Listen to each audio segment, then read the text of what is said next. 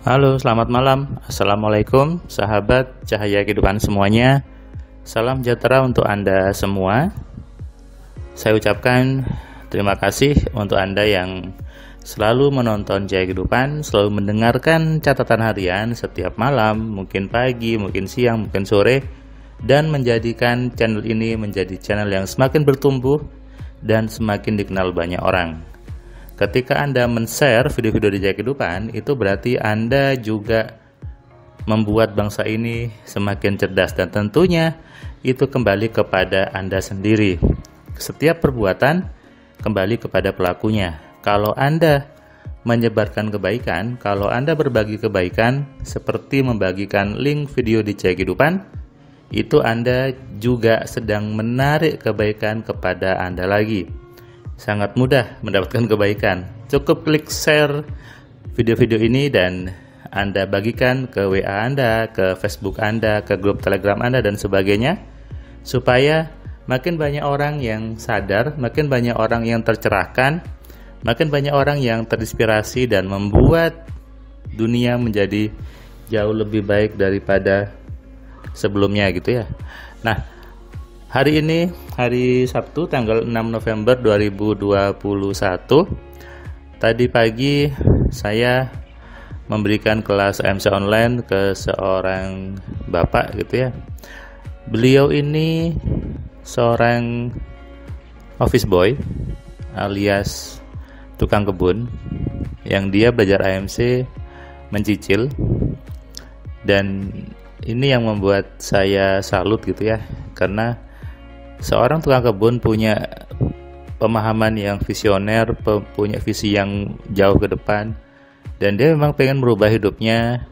Bahkan dia bilang, ketika nonton Jaya Kehidupan menerapkan hidupnya sudah mulai berubah, gajinya tiba-tiba naik, kemudian dia dapat bisa buka warung kopi, lalu dia bisa mencicil tadi kelas AMC dan akhirnya dia belajar hal ini.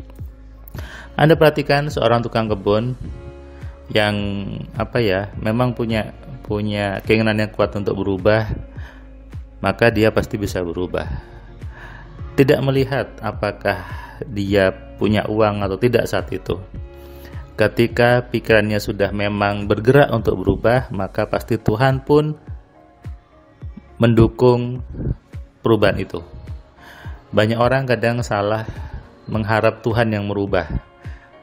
Ini salah sebetulnya karena sudah jelas ayatnya aku tidak akan mengubah nasib suatu kaum sebelum kaum itu merubahnya sendiri. Tuhan Allah menunggu kita untuk berubah. Tuhan menunggu Anda untuk berubah. Jangan Anda nunggu Tuhan untuk berubah Anda. Ayo dibenahi pemahamannya dibenahi pola pikirnya bahwa Tuhan nunggu Anda. Kalau Anda berubah Tuhan pun pasti mengijabah perubahan itu Tuhan pun pasti menggerakkan semua untuk merubah sesuai dengan yang Anda pikirkan. Karena itu, maka harus apa ya? Harus mulai untuk menerima pemahaman yang benar ini. Kadang banyak orang mengatakan, Mas Firman, kaya miskin kan sudah Tuhan yang nakdirkan. Tidak. Kaya miskin hasil dari program di kepala Anda. Ketika Anda terlahir miskin itu bukan berarti Anda tidak bisa kaya.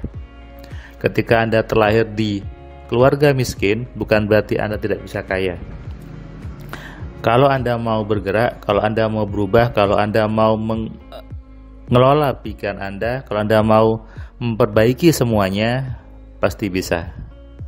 Ada yang mengatakan ketika seseorang terlahir miskin, itu takdir Tuhan, tapi ketika seorang itu mati dalam kemiskinan, maka itu kebodohan orang itu sendiri.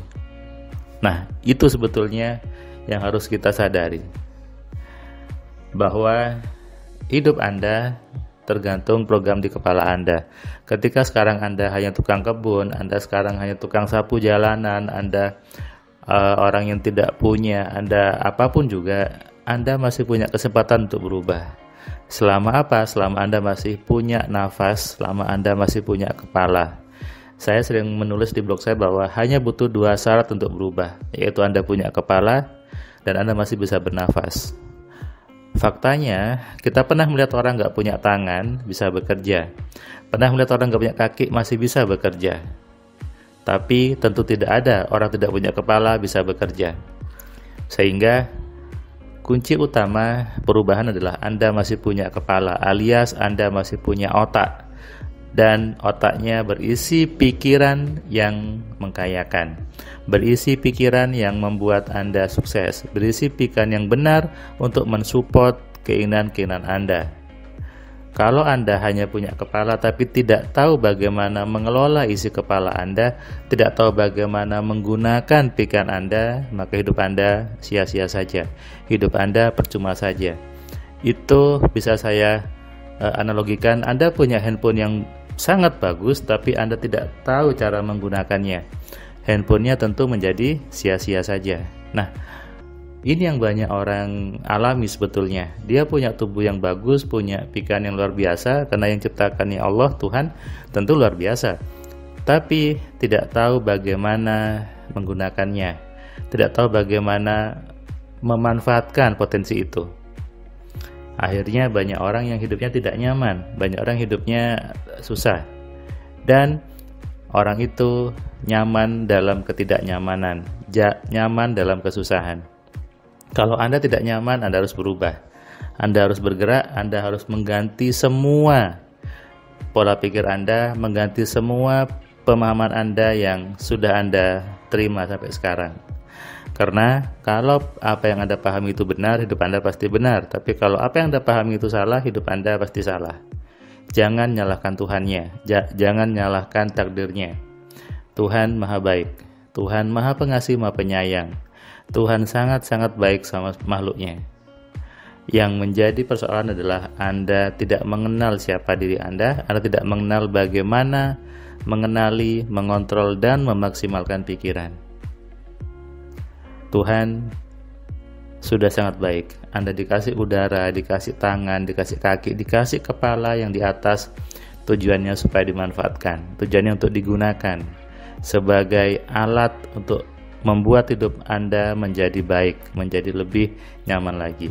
Dan tadi ketika saya memberikan kelas M Solen ke Bapak tadi, dia cerita bahwa ternyata saya banyak salahnya Mas Firman. Ternyata saya banyak tidak tahunya. Padahal dulu saya sering ngaji.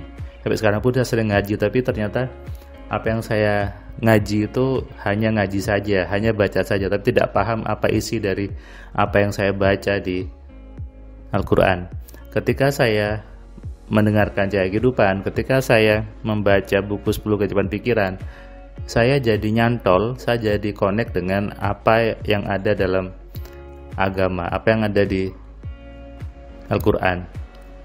Di Al-Quran banyak ayat untuk berpikir. Ketika saya bertanya kepada guru ngaji saya, beliau menjawabnya ya berpikir aja. Nah, di sini di AMC saya baru paham berpikir itu seperti apa dan wajar kenapa di Al-Quran banyak sekali ayat untuk berpikir. Nah, itulah tujuan saya buat AMC supaya orang aware, sadar kalau bahasa bahasa Jawanya eling gitu ya, bahwa kita punya kepala, kita punya pikiran yang memang harus digunakan, yang memang harus dimanfaatkan untuk kebaikan Anda dan orang-orang tercinta Anda. Jangan sampai nanti ketika di akhirat Tuhan bertanya kepada Anda, dipakai buat apa kepalanya dan Anda tidak bisa menjawab. Berarti Anda sudah menyanyiakan apa yang sudah Tuhan berikan, Anda sudah tidak bersyukur dengan apa yang sudah Tuhan berikan. Sadari ini, renungkan. Selamat malam, selamat istirahat, salam sehat, salam kaya, salam cerdas. Dari saya Firman Pratama. Sampai